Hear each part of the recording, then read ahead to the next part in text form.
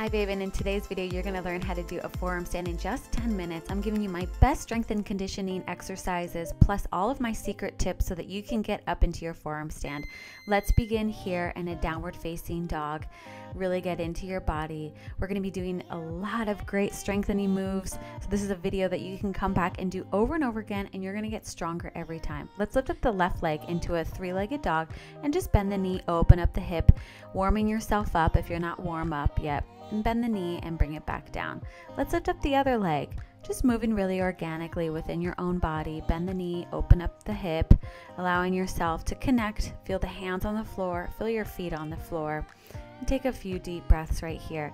Lift up onto your toes, roll forward into high plank pose, and then roll all the way back to downward facing dog.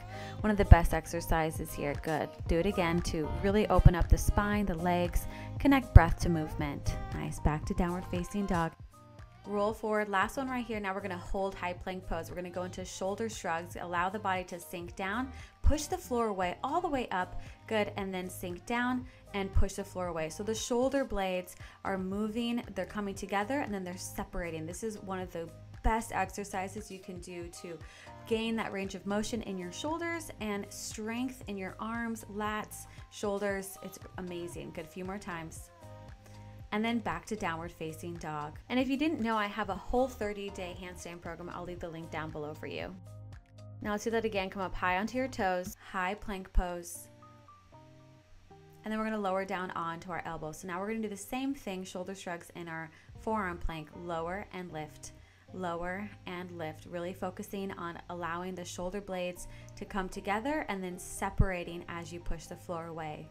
This is to help you understand your range of motion and gain strength in your shoulders. Beautiful. Hold on to that core the whole time. Belly squeezes up and in. Good. And then we're going to walk our toes all the way up into a dolphin pose. So, holding here in our dolphin pose, the goal here is to get your ears in line with your upper arm bones. Nice. So, this does require a lot of strength, a lot of flexibility. So, work your way up towards this pose. Nice deep breathing here. And then we're gonna lift the left leg up and hold for a couple of counts. So hold the left leg, just holding and then lowering down. Let's switch sides. Lift up the right leg, hold. Just notice what happens in the body. Try to square off the shoulders and hips and then lower the leg down. Let's do that again. Lift the left leg up towards the sky, all the way up, holding here for just a moment or two, and then lower it down. Switch sides, lift it up, and hold and then lower it down. Beautiful. Now press all the way up into the hand so that you end up in downward facing dog. Good. Holding here. Lots of upper body work today, obviously, to get yourself ready for our pose. Okay, now come on down to your knees. Shake it out. That was a lot of work there. Okay, now we're going to move into some core work. Pull the knees in towards your chest, reach the arms forward, and we're gonna lay all the way out and then come back in. So boat pose all the way up and out. This is a great one for really engaging those lower, lower abs because as you know, you need a lot of core work in order to get upside down. Good. Shoulders are nice and open. Squeeze the ankles together, squeeze the inner thighs together. Keep going.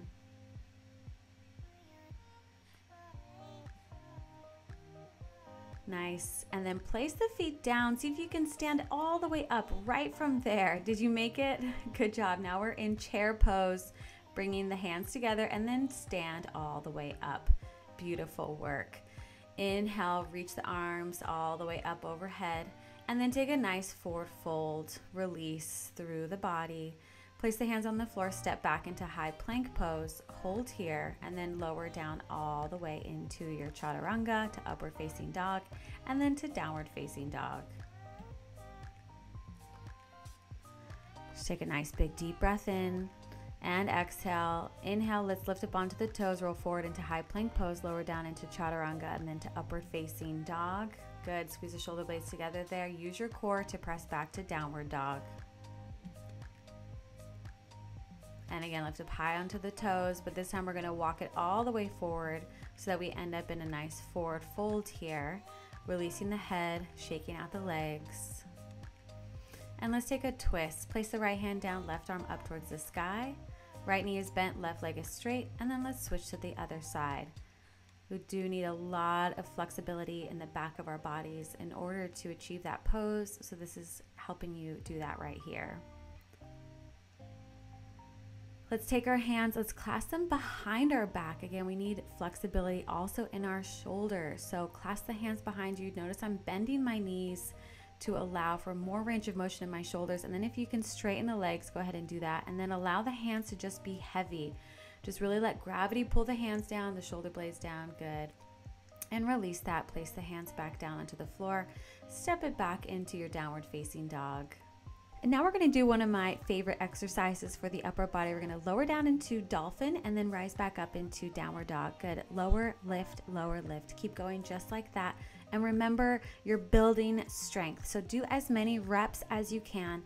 And then tomorrow you'll be able to do another rep. And then the next day, another rep. So just know that you're building your strength with every rep.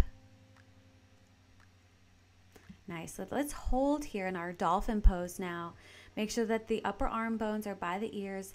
Now we're going to take little walks towards our face and then back. So you're just trying to get up as high as you can onto your tippy toes, noticing that my hips are going over my shoulder. So that's really what we're trying to do is getting ourselves prepped for feeling comfortable with the shoulders and the hips in one line. So walk all the way up, all the way up onto your tippy toes, and then walk back to dolphin.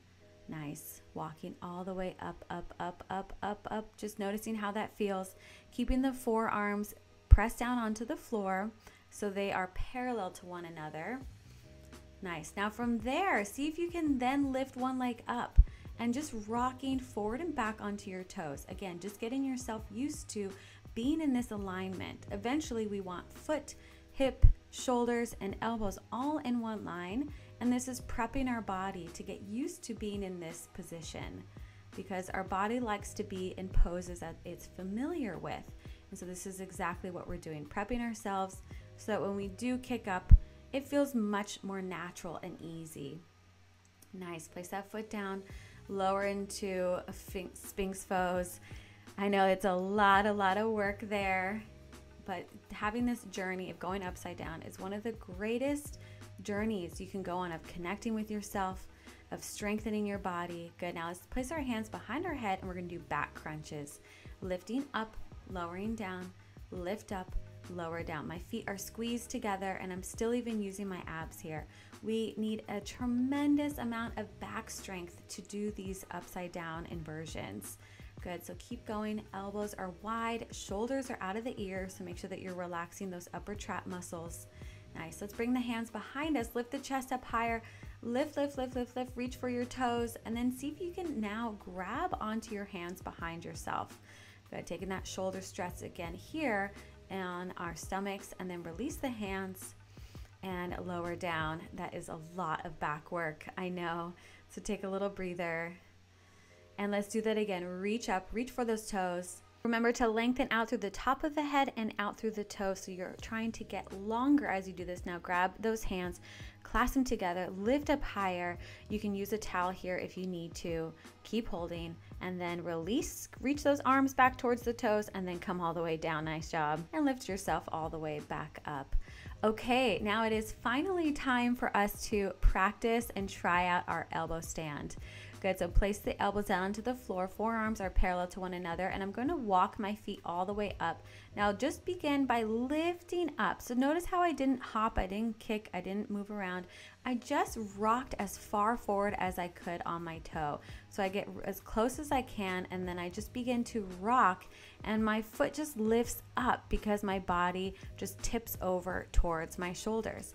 And then once you do that, you can practice bringing the legs together, thinking of creating this nice straight line, squeeze the inner thighs together, use the abs, good and then slowly lower down. So practice that on your own. So now right now i'm going to show you what not to do okay? So if you look here don't try to just kick up and just hope for the best right? You don't want to just flail your legs around at all. You want to make sure that you are using your toes. So i'm going onto my very tippy toes and i'm just rocking very gently there's no momentum it's all weighted evenly throughout my body and then from there You can get fancy with the legs and see what feels good for you, see what you can do. But I highly recommend getting just that straight position first, the up and down position first. Take a little breather and remember to be patient. I also have a 30 day handstand course that'll teach you everything you need to know so you can do your forearm stand, handstand, and headstand. So I'll leave that link down below. Let's do this one more time. So place those elbows down. Let's try it again. So I'm gonna rock up high onto my toes and then I just tip over. And it's just super easy and simple. There's nothing erratic going on, and that keeps the body really safe so that you don't jerk and pull or push anything or anything like that. And of course, if you need a wall, you could do this against a wall so you can have a little backing there. But squeeze those legs together once you get up to the top, point the toes, feel that long line happening through the whole body and come down. You did amazing job. Thanks for joining me. Great, great work. We're gonna take a nice shoulder stretch here. This one feels so good.